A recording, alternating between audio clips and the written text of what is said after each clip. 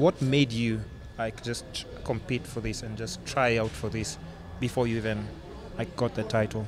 Because I know it's super huge, like in the states. I didn't realize it's that big of a deal, like to be like Miss. Yeah. I didn't know. I I can't believe it even. What made you? What made you be interested in that? Because you have your own own thing going on, like a personal trainer thing. yeah. You have uh, classes to attend. Cool, yeah. You're living in one of the most expensive cities, I guess, It is very in the world. Yeah, if you just Google on YouTube, just give him the honey bit. Uh, it's attracting the bees. Thank you. So yeah, what made you? Because there's so much else that's going on in your life. There what is. made you choose this so that they can send you back to a third world country to do all these, You know. amazing things. Yeah. Let's go with that. Let's go with that. Yeah.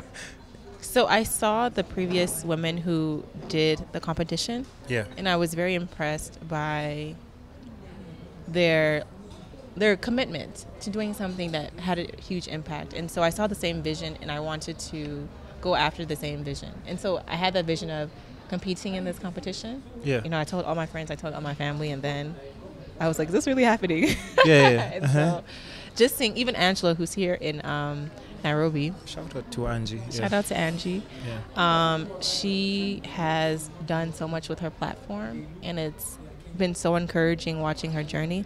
And then Mhm. there's another queen here. Her name is Fozia Mohammed.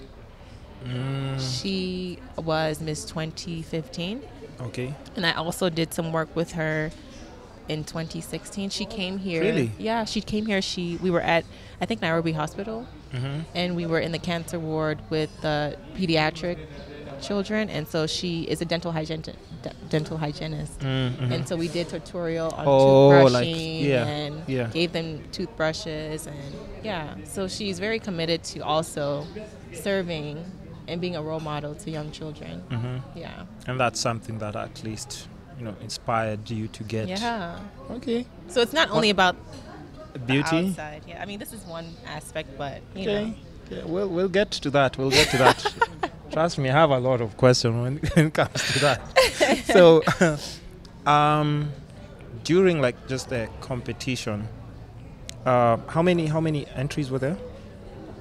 I'm not sure how many entries, but I, I think the fin- there were 15 finalists. Fifteen finalists. Yeah. So it's basically like a huge, really something Yeah. that's. Because you apply Mm-hmm. and then They do like a background check and stuff. Yep, they review your application and then they tell you, and then you have to go through six months training Mm. before the actual competition. Ooh. Mm. Okay. In with a different state or where you stay? It, so it's we do it. So you have to um, fly out to a different state to go and do. So the the six months we did the training online, Okay. and then we had one week in person to do the final round of training Where? in Seattle, Washington. Ooh. Have you been there? Unfortunately no. Unfortunately no. Yo, um, please give me that visa approval.